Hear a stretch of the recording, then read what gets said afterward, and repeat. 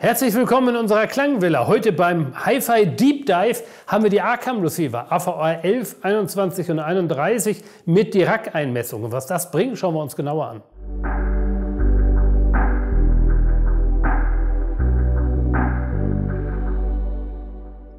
Arcam Surround Receiver, das ist nicht die erste Generation schon, sondern schon die äh, zweite an hervorragenden Receivern, die Dirac-Einmessung haben. Da wollen wir auch nachher mal äh, genauer darauf eingehen, was das eigentlich ist und was die Vorteile sind an der ganzen Geschichte. Von diesen Receivern gibt es drei Modelle, die wir hier testen. Das ist der AVR 11, der AVR 21 und der AVR 31 und die unterscheiden sich in einigen technischen Features. Der 11er und der 21 haben vor allen Dingen eine unterschiedliche Leistungsausbeute. Der 11er stemmt an 8 Ohm im Zweikanalbetrieb, so 80 Watt Sinus.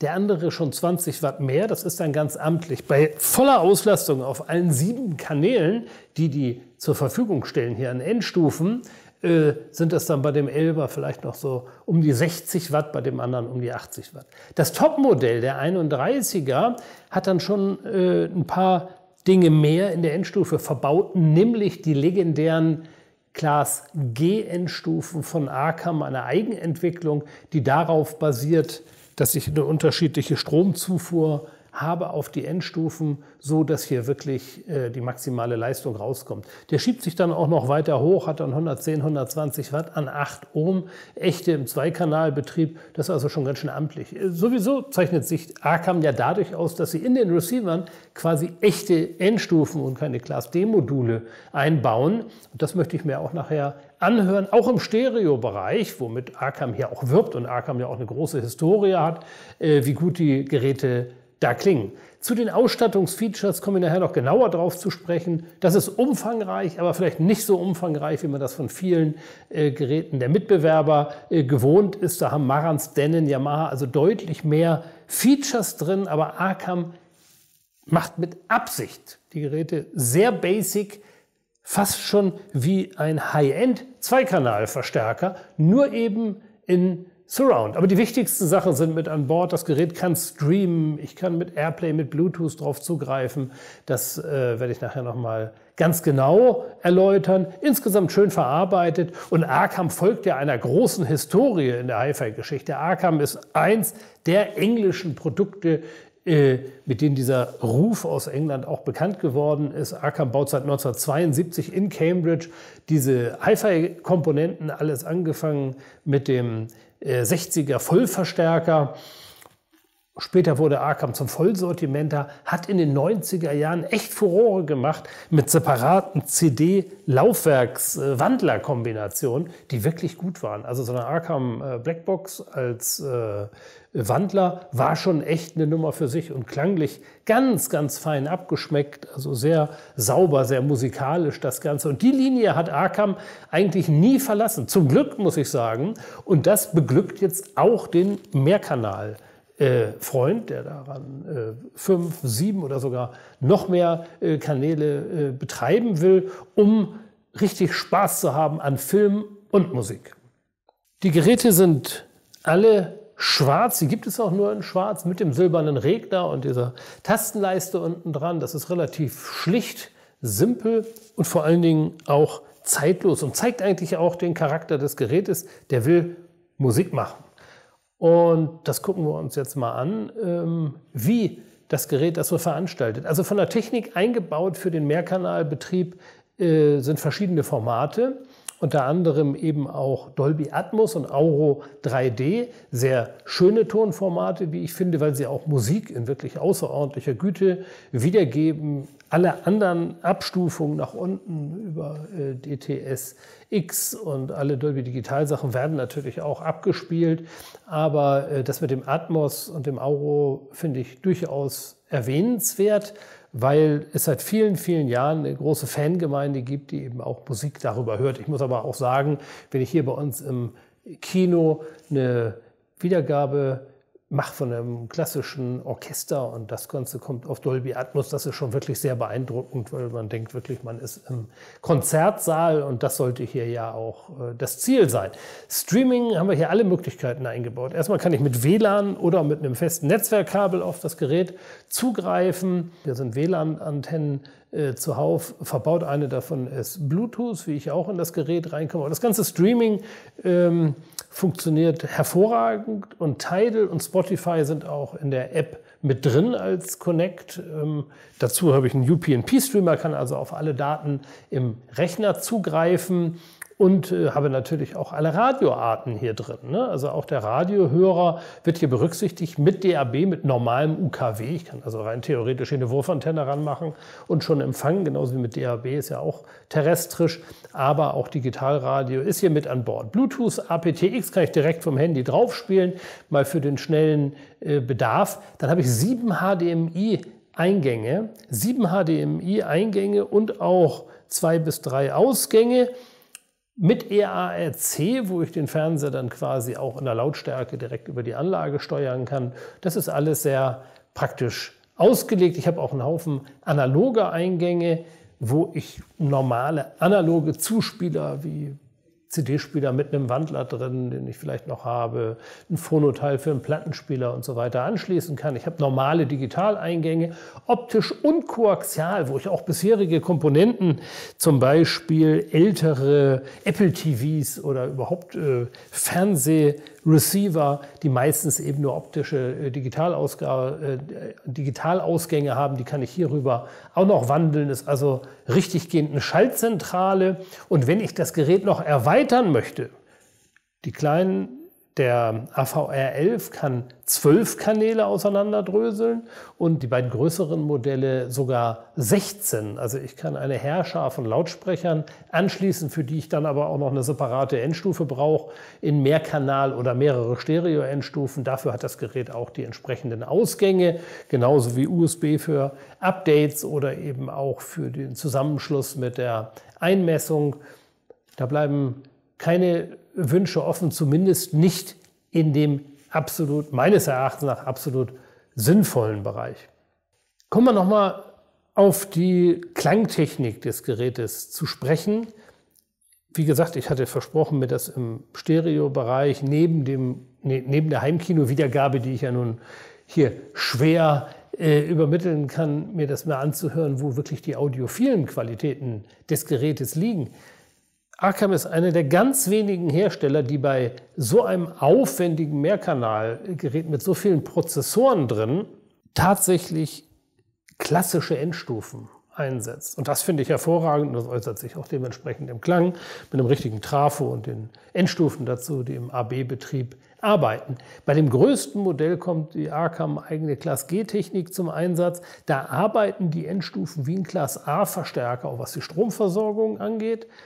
Erst, wenn ich so richtig Leistung abverlange, dann wird die große Stromzufuhr aufgemacht und das ganze Gerät geht in den B-Bereich über. Das mag zwar in anderen Konstruktionen, sagen wir mal, technisch ähnlich aussehen, ist hier aber völlig anders umgesetzt, so dass ich wirklich einen echten Class A-Betrieb auch erreiche bis zu einer gewissen Lautstärke und da klingt das dann äh, schon ganz wunderbar.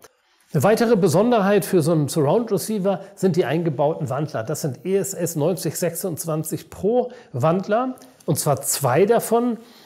So ein, so ein Zabre-Wandler, den kann ich in unterschiedlichsten Arten und Weisen ansteuern. Ich kann rein Zweikanal-Wandler draus machen, ich kann Mehrkanal-Wandler draus machen und dann auch noch eine entsprechende Stromversorgung da anlegen. Und die haben hier eben die ESS Referenzstromversorgung, der wird quasi das Maximum auf diesen Wandler gegeben, um die ultimative Dynamik da auch rauszukitzeln. Dazu ist das Gerät äh, MQA-fähig, äh, wenn ich jetzt solche aufgelösten Dateien spielen möchte und auch für die Streaming-Fans komplett ruhenfähig. Das heißt, ich kann das an einen Room-Server, auch in den Room-Server integrieren. Also schon einiges los. Kopfhörerverstärker äh, ist mit drin, das heißt, ich kann direkt Kopfhörer vorne anschließen und ich habe vorne auch noch eine Buchse, wo ich auch ältere Analoggeräte direkt über den Klinkenstecker hier verbinden kann. Die gesamte Auswahl und die Menüstruktur ist eigentlich relativ übersichtlich. Man kann die Eingänge konfigurieren, durchschalten. Man hat natürlich ein komplettes Programm, um die, das Lautsprecher-Setup zu konfigurieren um dann zum wesentlichen Punkt zu kommen, nämlich zu der Dirac-Einmessung. Ich erkläre kurz mal die Basis davon. Es gibt ja verschiedene äh, Einmesssysteme auf dem Markt. Das bekannteste ist Odyssey. Das ist in den meisten Marantz und Denon Verstärkern drin, ist im Receiver integriert, ist relativ einfach zu nutzen. Ich stelle mein Mikrofon auf, drücke auf Go und das Gerät misst sich quasi von selber ein. Was ich damit nicht habe, ich habe nur einen begrenzten Einfluss auf meine Raumkorrektur. Also wenn ich Probleme habe im Raum, Bassresonanzen, zu wenig, zu viel Höhen. Das wird zwar ansatzweise mit in die Messung einbezogen, führt aber nicht zu einer komplett durchgängigen, ultimativen Korrektur in allen Frequenzbereichen. Dazu habe ich bei Dirac die Möglichkeit, manuell wirklich am Klangbild was zu drehen, so wie mir das gefällt, oder um das abseits jeder automatisierten Messtechnik auch noch zu personalisieren, das Ganze. Das System funktioniert relativ einfach. Sie stellen genauso wie bei den anderen äh, Surround Receivern das Messmikrofon in den Raum, messen aber nicht am Receiver selber, sondern äh, Sie nehmen eine externe Software, die Sie auf Ihren Laptop, aufs PC äh, eben aufspielen und führen dort diese Messung durch. Die Messung hat dann ein entsprechendes Ergebnis und dann kann ich noch Einfluss nehmen und das immer weiter optimieren, das Ganze bis hin zu quasi so einem Expertenmodus, wo ich wirklich einzelne Frequenzbereiche mir vorknöpfen kann, um dann noch mal mehr oder weniger reinzugeben. Funktioniert schnell und einfach, wenn man dann mal die Software installiert hat. Die Software ist kostenlos, lässt sich direkt auf der Arcam-Seite runterladen, konkret für diese Geräteserie. Das finden Sie sehr schnell. Und dann wird das übers Netzwerk an den Receiver übertragen. Und das Gute ist, der hat ja, der hat ja mehrere Eingänge, an denen ich Blu-ray-Player, CD-Spieler, meinen, vielleicht auch noch andere Zuspieler, die ich habe. Vielleicht habe ich noch eine Xbox oder eine Playstation oder ein Fernsehgerät oder was auch immer ich da reinmache.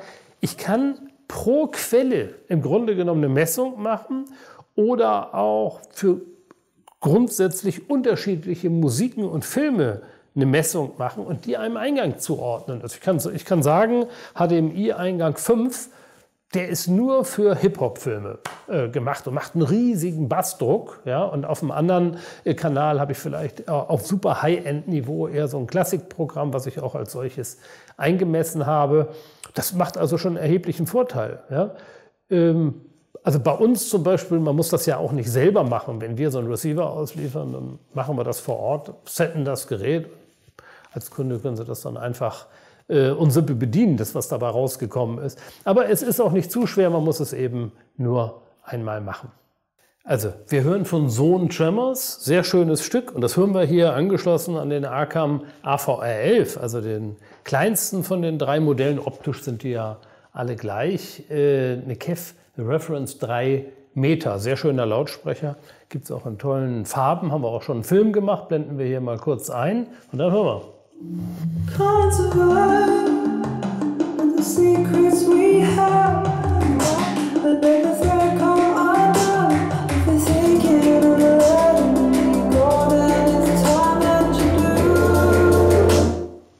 Ja, sehr schön. Bin überrascht. Vor allen Dingen nach unserer Dirac-Einmessung haben wir hier im Raum auch überhaupt kein Problem. Und das spielt mit einem Schub und obenrum extrem sanft und sehr schön abgebildet.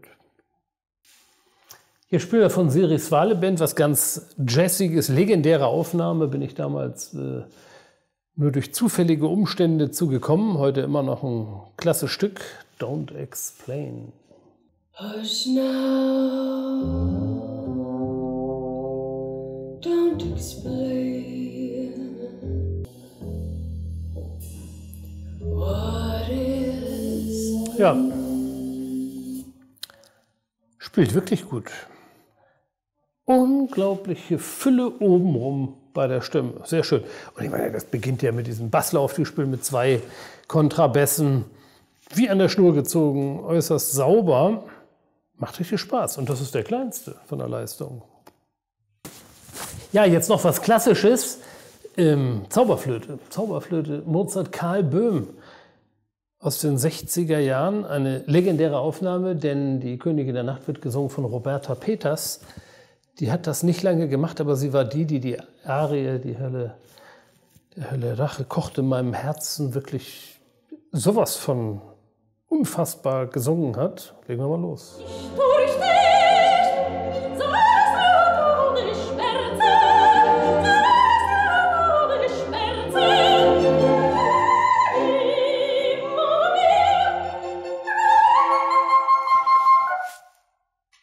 Das ist interessant, weil das ist eine deutsche Grammophonaufnahme von damals. Die waren alle so ein bisschen, die waren sauber, sehr mittig, aber nicht besonders vollmundig. Ne? Also kann sein, eine, Decker oder eine Ärzte aus der gleichen Zeit, die sind so voluminös und ratazong. Das war bei deutsche Grammophon nicht so. Und deswegen ist es da wichtig, dass das Gerät unabhängig seiner digitalen Geschichten ein gewisses Volumen erzeugt und, und Druck auch in den oberen Lagen. Und das macht er, es macht Spaß, es ist überraschend gut. Ja, für mich aus dem High-End-Bereich des Musikhörens kommend ist der Klang eigentlich, steht maximal im Vordergrund und deswegen haben wir uns das Gerät ja auch intensiv angehört. Wir haben ja auch mal zwei Stücke ähm, mit reingenommen. Immer sorry, dass wir hier in den Film die Musik nicht länger spielen. Da ist bei 15 Sekunden Schluss, sonst kriegen wir hier äh, Urheberrechtsprobleme äh, und können gar keine Musik mehr spielen. Deswegen ist es doch schön, wenn man hier auch gleich nochmal einen Musiktipp nehmen kann. Also Arkham hat das, was sie versprechen, wahrgemacht. Das Gerät klingt wie ein Hi-Fi-Verstärker. Da gibt es schon erhebliche Unterschiede. Also wir waren von den ersten Zeiten von Heimkino und Mehrkanalwiedergabe äh, mit dabei. Ich habe wirklich bei Prologic angefangen. Prologic heißt, ich habe vorne was auf den Hauptlautsprecher und hinten eigentlich den Frequenzgang wie ein Telefonhörer. So hat das Ganze angefangen, eigentlich nur über Effekte und so hat sich das über die Jahrzehnte inzwischen weiterentwickelt. Irgendwann kam Dolby Digital auf den Markt. Die hatten dann schon großes Frequenzspektrum auf allen Kanälen. Dann kamen noch mehr Kanäle. Ich muss sagen, wir sind da jetzt auf einem Niveau, wo so ein Surround Receiver, auch Preisklassen gesehen, gar nicht mehr hinter so einer Mehrkanalkomponente äh, da, da hinterherhinkt. In dem Gerät muss ja alles digitalisiert werden, damit ich überhaupt so einen Mehrkanalklang bekomme, der ja nativ äh, erstmal nicht da ist, sondern äh, über einen Prozessor halt wieder aufgespannt wird. Das heißt, auch wenn ich hier analog was anschließe, dann geht das in diesen Prozessor rein und äh, wird digitalisiert. Das heißt, da muss ich schon große Obacht legen nach den gleichen Prinzipien, die ich auch im High-End anwende, dass dieses winzige Signal sauber gepflegt wird, bei den Endstufen ankommt und auch die Endstufen dann so arbeiten, dass dieses Signal nicht verfälscht wird, weil da kann ich irgendwann an dem Signal so lange elektronisch und digital rumfummeln, mein Ergebnis wird dadurch nicht mehr besser. Und wenn ich hier eine hochaufgelöste Datei reingebe, sagen wir mal ein ganz normales Tidal Streaming, dann habe ich auch ein gutes klangliches Zweikanalergebnis. Und wenn ich mir überlege, dass das Zweikanalergebnis so gut ist, bedeutet das auch bei dem Wandler, der da eingebaut ist und der Gesamttechnik, die hier eingesetzt wird, auch mit dem Dirac-Einmesssystem, dass ich einen wahnsinnig vollmundigen, guten, natürlichen Klang auch ähm, über alles bekomme. Und das äh, ist was, was mich persönlich äh, besonders erfreut. Das war auch mit der Grund, warum ich hier die äh, Arcan-Geräte unbedingt testen wollte. Die Dirac-Einmessung ist etwas komplexer als eine vollautomatisierte Odyssey-Einmessung. Dafür habe ich aber auch die tollsten Möglichkeiten. Ich kann kostenpflichtig zum Beispiel auch noch bei Dirac äh, so ein, so ein Bassmanagement-System äh, mir kaufen. Da lässt sich das auch alles noch perfekt an den Raum anpassen. Und da spreche ich wirklich vom Raum. Ich spreche an der Nützlichkeit nicht nur ein, ein Mehrkanalsystem räumlich so einzustellen, dass ich Spaß habe von der, von der Abbildung her bei Film und bei Musik, sondern dass ich hier gleichzeitig auch noch die Probleme, die ich im Raum habe, äh, damit gelöst bekomme. Und das ist, denke ich, der größte Unterschied, äh, den wir hier haben. Ja, Software ist extern, ich bin abhängig davon, äh, dass es die RAC auch gibt, noch für viele Jahre, aber das Ergebnis ist weit von einer automatisierten Standardeinmessung entfernt. Gerade wenn ich mir da ein bisschen Mühe gebe oder wir uns als Händler bei der Installation da mehr Mühe geben, dann kann sein, ich habe eine große Standbox, die mir bei 80 Hertz eine riesen Dröhnfrequenz im Raum produziert. Die bekomme ich weg und zwar so, als wäre sie nicht da und habe eine perfekte Wiedergabe. Und das mache ich noch in verschiedenen anderen Bereichen, was den Nachhall angeht und habe ein fantastisches ähm, Ergebnis. Also ich habe den Mehrkanalklang, ich habe die Raumkorrektur und ich habe mit den A-Cams einen unfassbar guten Stereoklang. Das war es auch schon für heute mit dem Hi-Fi Deep Dive. Diesmal in Sachen Surround unterwegs mit den Arcam-Receivern, die in Stereo und in Surround wirklich herausragende Eigenschaften haben, wie sich hier gezeigt hat. Ich hoffe, es hat Ihnen Spaß gemacht. Sie konnten viele Informationen mitnehmen. Noch mehr Details zum Produkt finden Sie direkt unterhalb des Videos. Es würde mich sehr freuen, wenn Sie den Kanal abonnieren würden. Auch das nächste Mal wieder reinschauen, wenn wir hier eine Hi-Fi oder Surround-Komponente vorstellen. Bis demnächst.